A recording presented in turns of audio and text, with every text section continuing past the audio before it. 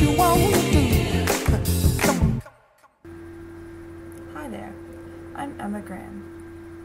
I'm 17 years old, I live in East Philippa Stewiacke, and I'm in grade 11 at South Colchester Academy. I'm engaged in many extracurricular activities.